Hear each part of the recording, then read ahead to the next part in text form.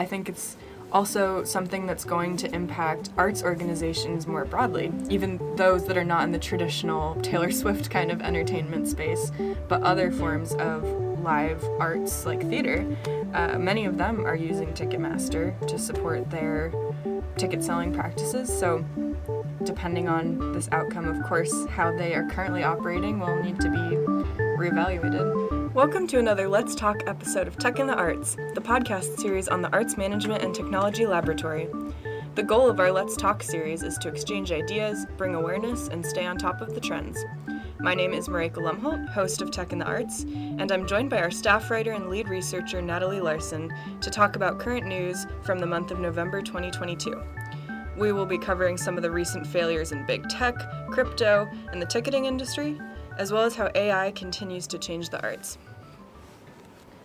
So, my first story is one that hits near and dear to home for me. I am a big live music fan, and I know you are too. I am, for sure. so, maybe you will also relate in the sense that I have personally been affected by Ticketmaster and some of the problems that they're being called out for right now.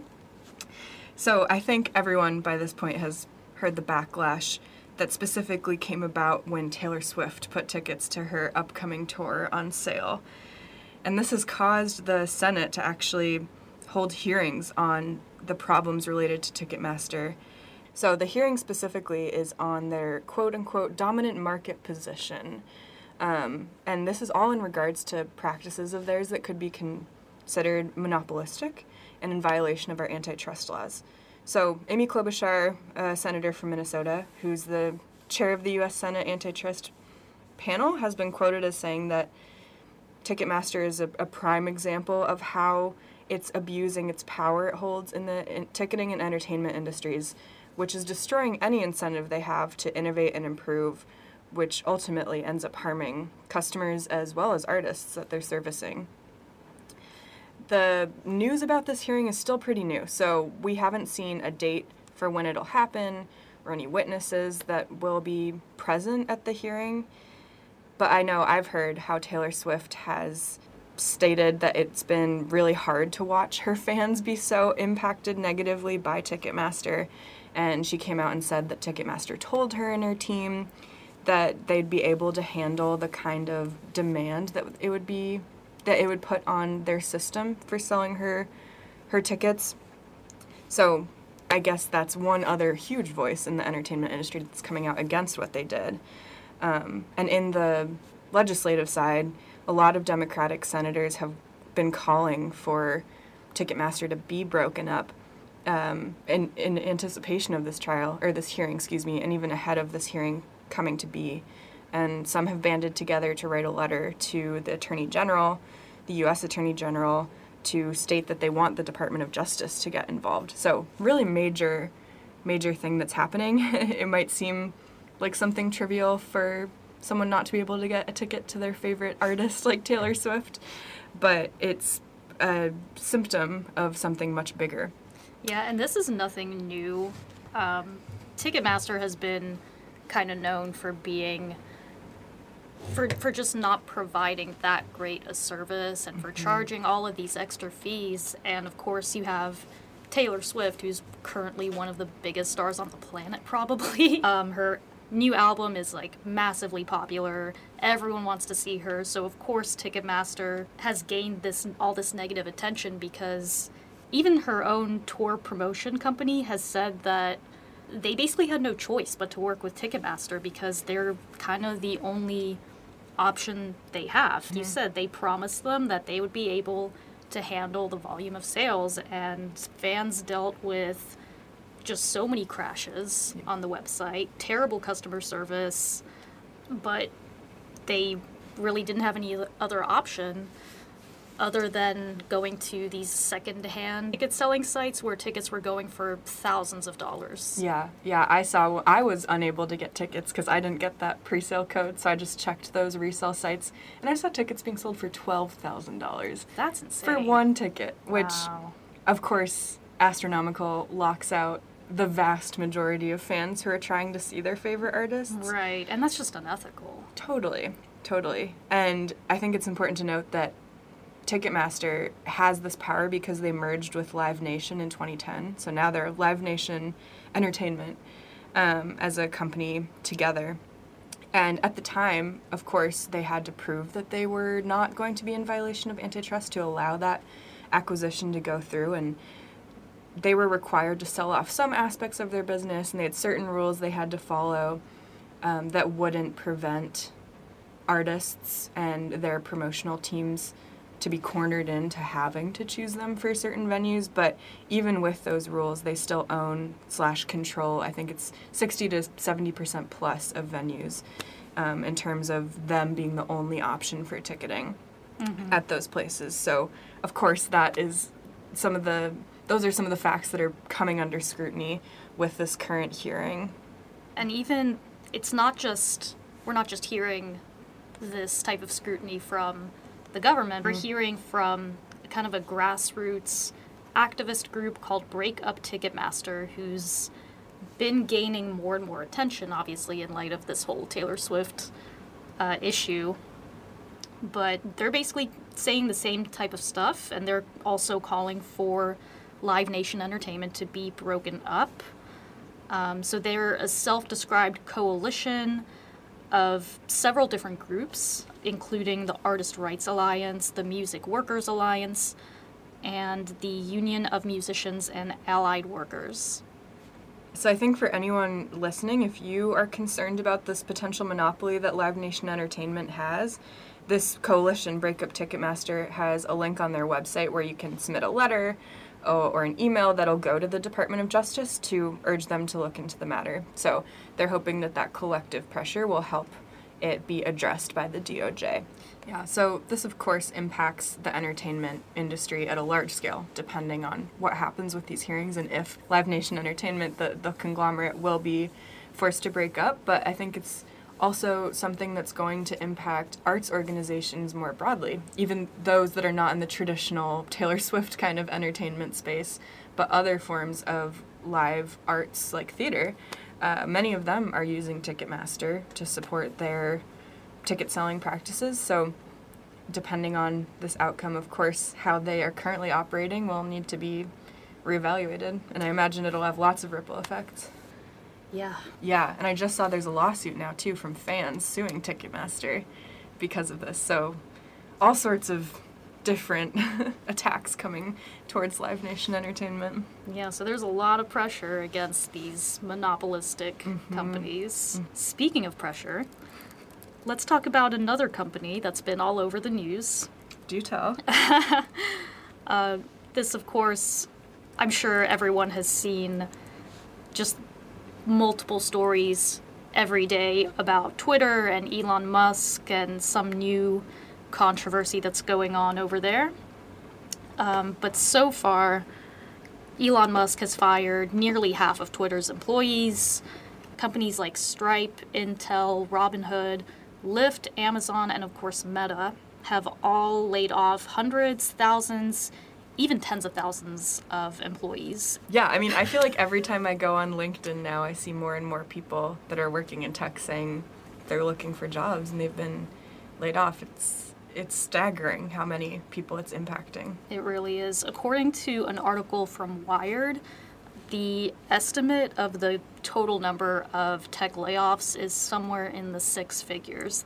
That is huge. That's a lot of people that are now going to be looking for employment, mm-hmm. and there isn't really a whole lot out there, at least when it comes to big tech companies. So, one option that they have is, of course, to join or to create their own startup company which is something that we could see. We could see a wave of new startups as a result of all these layoffs. Um, there are, I mean, these people are incredibly smart and talented, and they have valuable experience at a big tech company. So this may be a chance for them to explore a new venture or, or pursue an idea of theirs that they were unable to before. Um, of course, it's not really an easy time to, to create a mm-hmm. startup as investors are less inclined to fund a startup, especially since tech and crypto markets have gone down. They're just being a lot more cautious and just asking for a lot more information up front rather than just giving away their venture capital. Yeah. Yeah, so simultaneously I could see how a wave of startups will come to be, but I imagine that the success rate will be going down considering some of the challenges in getting funding and, and advancing those startups to be more long-term stable companies. Right. And it's not to say it's impossible, just harder. It has Yeah. its own challenges currently, just given the way things are going. Um, but certainly not impossible. Maybe just some extra planning on, on their part. Well, good luck to everyone endeavoring in that space. Yes. Um, another sort of major story involving a, a big kind of crypto company that's made the headlines recently is FTX, of course. I'm Oh, sure yeah. everyone has heard by now about their bankruptcy filing and the resignation of their former CEO, Sam Bankman Fried, um, as well as an investigation launched against uh, Bankman Fried for, quote, skirting rules on safeguarding consumer deposits and relationships with trading affiliates and the general misuse of, of FTX's funds. So NPR reported that Sam Bankman Fried has actually been very vocal about his downfall, which is not something you typically see from disgraced tech executives. No.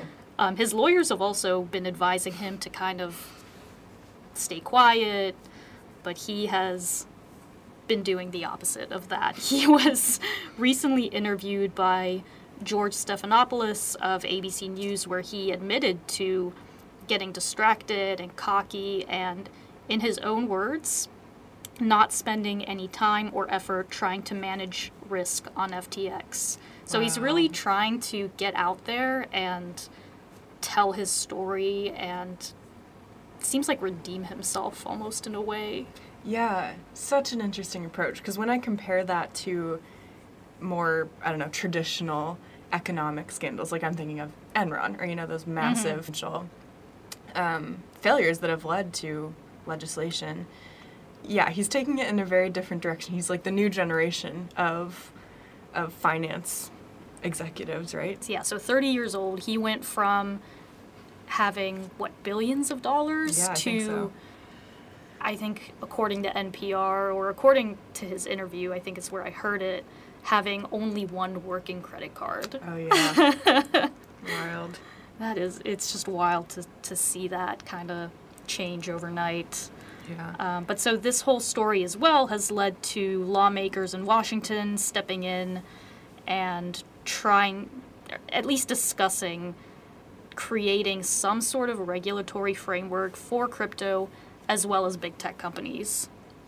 NPR reported that the House Financial Services Committee, the Senate Banking Committee, and the Senate Agriculture Committee have promised to hold hearings, uh, but there is still no clear path to comprehensive crypto legislation, and that's a direct quote from uh, from that article.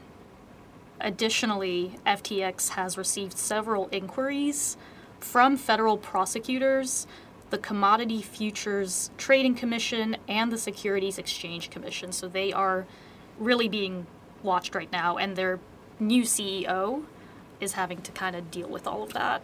The Securities and Exchange Commission, or just SEC for short, has claimed that, quote, most cryptocurrencies are securities like stocks and they should be subject to the same rules.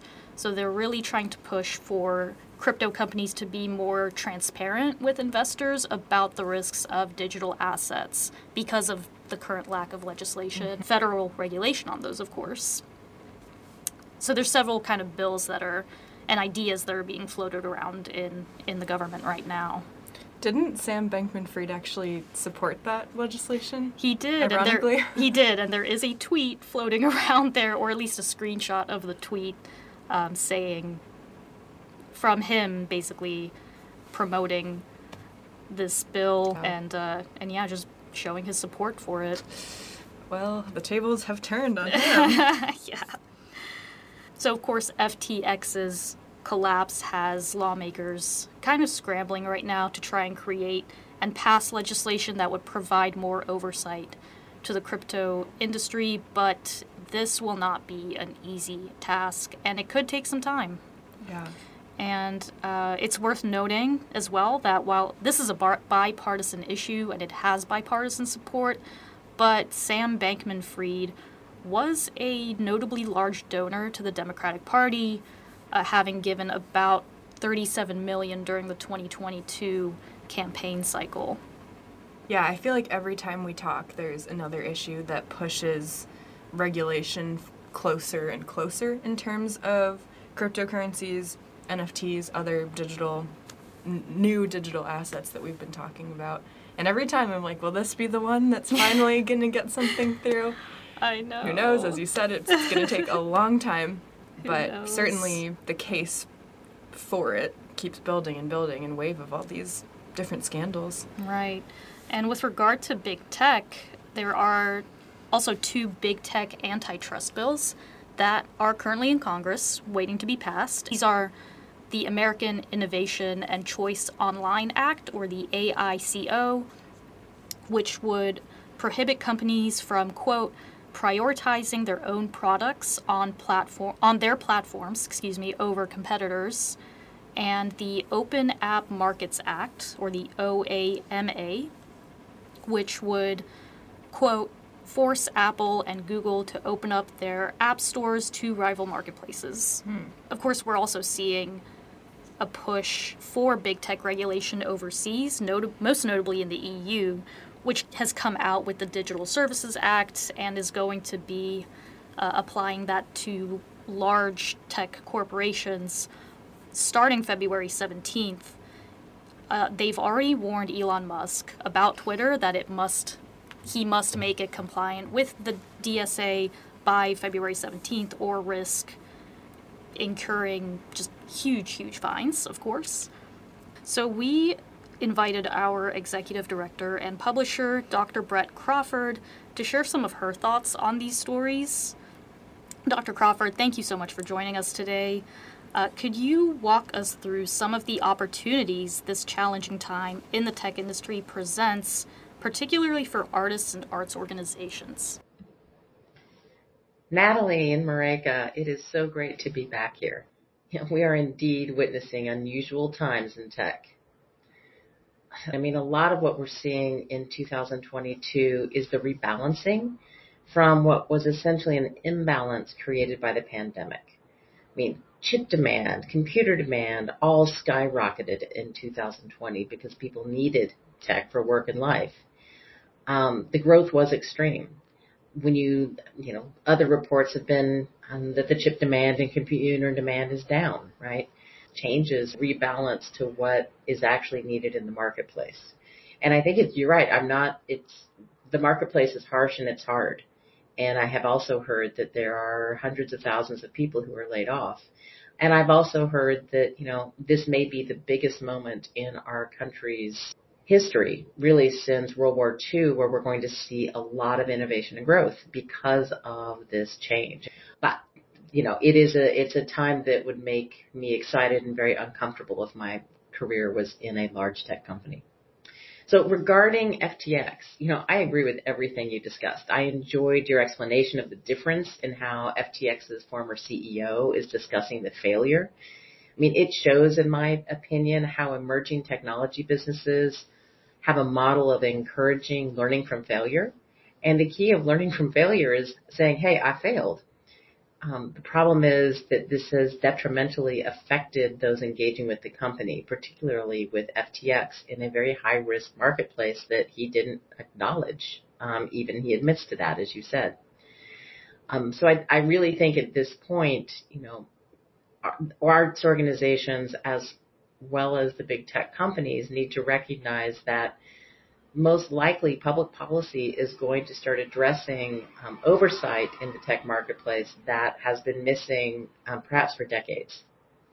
So, in fact, you asked me, I think specifically, what do these times mean for artists and organizations? The most important lesson in my mind is for everyone to stay on top of tech news and public policy change. We saw this happen when the EU enacted GDPR.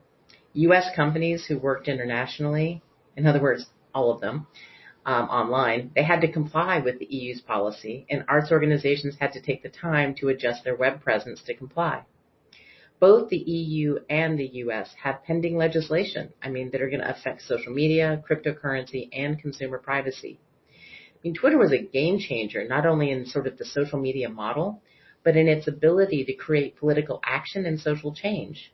Um, many nonprofits, artists, other social change makers invested deeply in their work on the platform. And it served their mission and their work. And then in one short month, how quickly things have changed.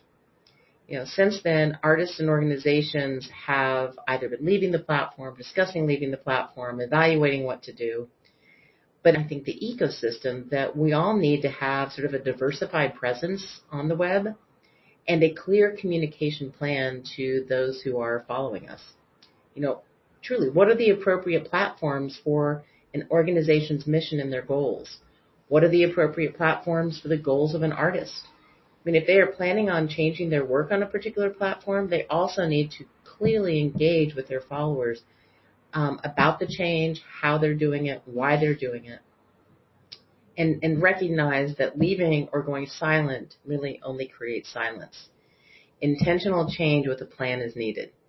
These are interesting and often difficult times. So these are um, times, though, I must say that as a research operation at the Center of Arts Management and Technology, I really love the work that we do. I love the fact that here at AMT Lab, I know that the team is engaged and ready to support artists and organizations as they navigate these turbulent times, and that our research is really trying to ensure that everybody knows what's happening and hopefully have choices in how to adapt you know, that's about all I have to say in terms of advice. Um, good luck out there would be the other piece of advice. So thanks again for asking me to join you. Thank you, Brett. Always a pleasure to talk to you and to hear about your insights into these issues.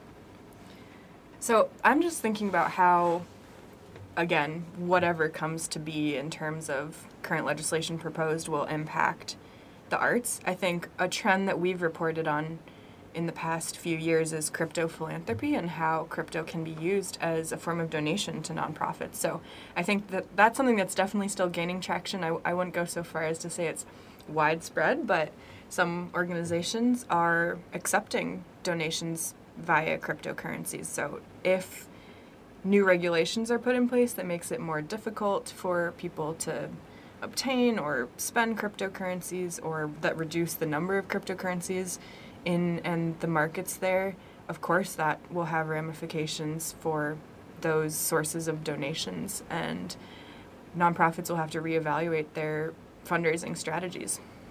Yeah, absolutely. So any artists or arts organizations that are currently involved in in the selling or creation or anything having to do with NFTs are going to be subject to new guidelines set by the federal government, um, or even by a state statute, perhaps. Yeah, so as usual, we recommend the arts managers all be aware of new policies and rulings that are coming out of these scenarios. You were talking about generative AI, and I think AI is gaining a lot of popularity amongst businesses, professionals, anyone who's regularly creating content, whether that's marketing or communications, uh, software, design, different forms of entertainment, as well as investors who are interested in supporting this. So generative AI in particular, which sometimes is called foundation models, large language AI models, image AI models, generate models, I've seen a lot of different names. These provide some specific use cases for users of it.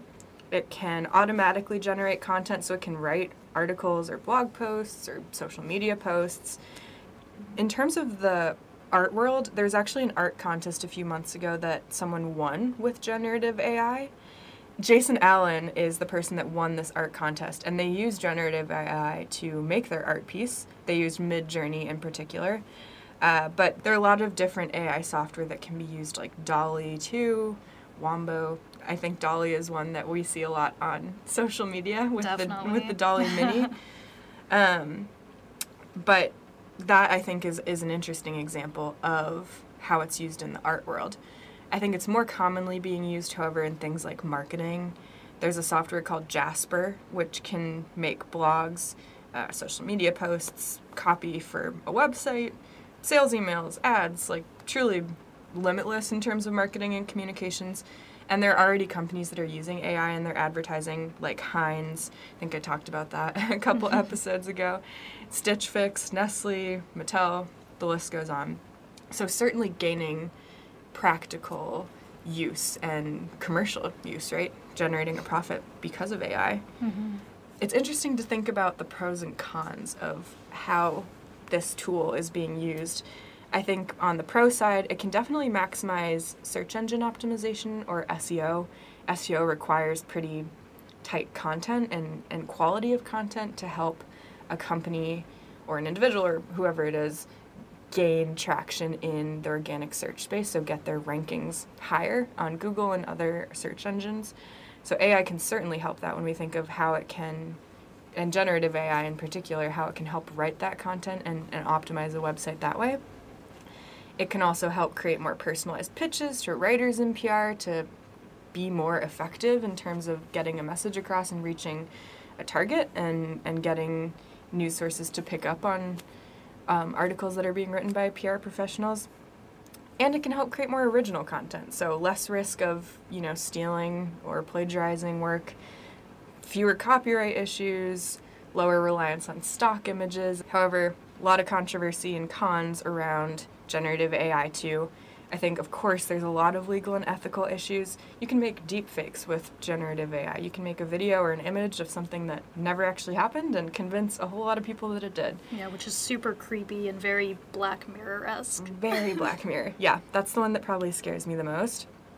And then I think on the more strictly on the legal side, it, it raises a lot of questions of ownership. So if there's an AI generated work, does it belong to the creator who, you know, told the AI to create something?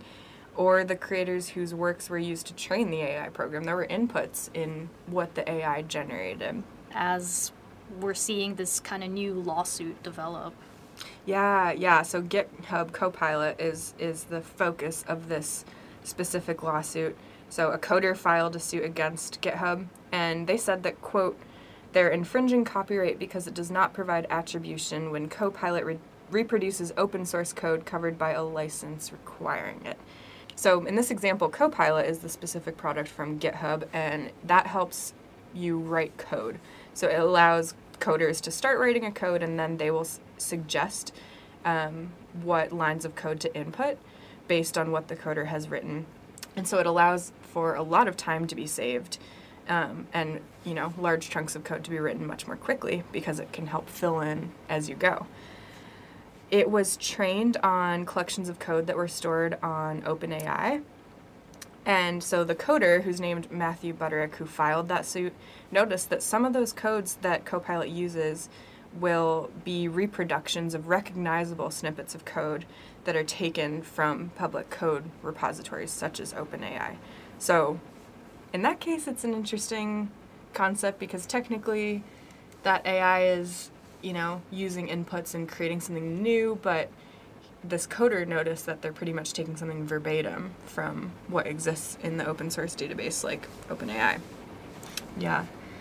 Yeah. So likely I'll say that it's probably just one of many lawsuits that are yet to come with generative AI as it just gets more and more use cases and again becomes more accessible. I think a few years ago we knew AI, AI was there, but it wasn't necessarily something that any company or, or even individuals now could be using it in these broader purposes.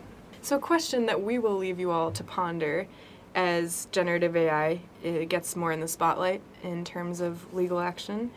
We ask you all what would the impacts of a ruling in favor of this defendant, this coder, be for artists whose work is used to train generative AI models? Let us know in the comments. We will do our best to keep you posted on any developments. Thank you for listening to Tech in the Arts. Be on the lookout for new episodes coming to you very soon. If you found this episode informative, educational, or inspirational, be sure to send this to another arts or technology aficionado in your life. You can let us know what you think of this podcast by visiting our website, amtlab.org. That's amt lab.org. or you can email us at amtlabcmu at gmail.com. You can follow us on Instagram at Tech in the Arts or Facebook and LinkedIn at Arts Management and Technology Lab. We'll see you for the next episode.